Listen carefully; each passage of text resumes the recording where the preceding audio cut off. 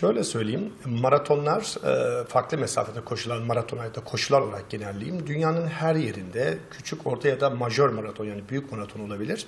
Sağlık raporları istenmeksizin yapılan organizasyonlar.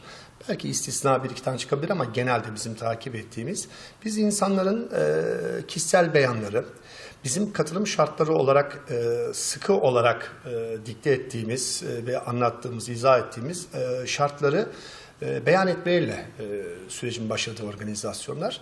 E, sadece elit sporcuların katıldığı organizasyonlarda, şampiyonalarda e, tabi lisans arandığı için e, lisansında bir parçası sağlık raporunu içerdiği için elit spor organizasyonu sağlık raporuyla kayıt alırken e, bizim gibi fan spor organizasyonları e, ki maratonlar bunlardan bir tanesi e, kişisel beyanla kabul alan organizasyonlardır.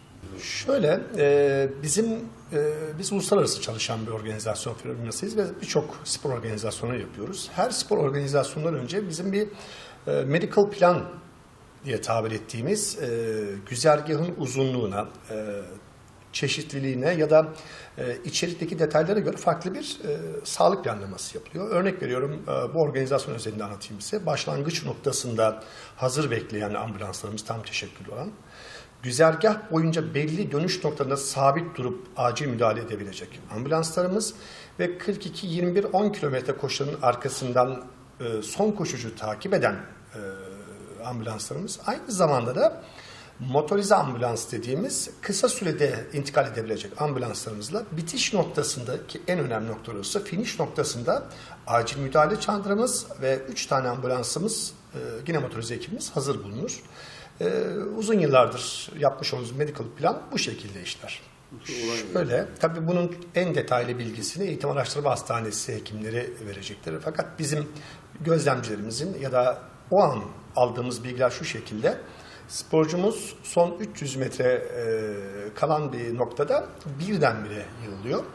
E, çok tesadüf olarak eş zamanlı kendisiyle beraber koşu yapan, eş zamanlı alana e, aynı yere gelen bir hekim ve e, anestezi uzmanı ilk müdahaleyi yapıyor. Oradaki sporcuların ve gözlemcilerin e, çağrısı ya da bir şekilde e, iletişimiyle finish noktasındaki mobil tarif ettiğimiz sırt çantalı bizim koşar adım giden ekiplerimiz olay yerine varıyor. Ee, genellikle bu tür e, spor yarışmalarında bayılma ya da tuz kaybı, potasyum kaybından dolayı fenalık geçirmeler rastlanabiliyor. Bu sebepten dolayı böyle bir durum olarak ilk müdahale e, bizim ekiplerimiz e, için gittiği zaman o an diğer hekimlerin kalp masajı yaptığını görüyorlar ve acil ambulans ve motorize ekibi çağırıyorlar. Alana ilk motorize ekip ulaşıyor. Aynı zamanda eş zamanı e, diğer hekimlerimiz ilgilenirken ve mobil ekiplerimiz ilgilenirken ardından da ambulans ulaşıyor. E, alanda ciddi müdahale yapılıyor. E, çok tabii teknik detaylarını bilmiyorum. Arkasından kararla beraber Eğitim Araştırma Hastanesi'ne ambulans nakli gerçekleşiyor. Maalesef sporcumuzu hastanede kaybediyoruz. Maalesef şöyle, spor organizasyonlarının çoğunda, koşularda has, rahatsızlanmalar ve kalp e, durması ya da enfarktüs denilen e, ölümler gerçekleşebiliyor. E, bu çok üzücü bir durum çünkü hakikaten önlenebilecek bir durum. E, örnek veriyorum çok değerli iş adamımız Sayın rahmetli Mustafa Koç bildiğiniz üzere evine spor yaparken e, böyle bir vefat yaşadı. E, daha bu yıl iki tane sporcumuz, bir tanesi dağda bir akutçu e, arkadaşımız antrenman yaparken vefat etti. Ee, dünyadaki majör maratonlar dediğimiz Paris, Londra, Berlin maratonlarında her yıl e, böyle vefatlar yaşanıyor.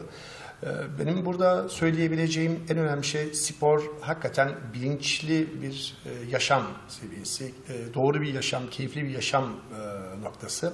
Fakat kendimiz konusunda da sağlığımız konusunda bilinçlenmemiz gerekir diye düşünüyorum. Yılda minimum bir kere, mümkünse iki kere efor testi yaptırarak beslenmelerimize ya da spor öncesi sonrası suplement ya da e, e, yediğim, yediğimiz ürünlere destekleyiciye çok dikkat etmemiz gerekir.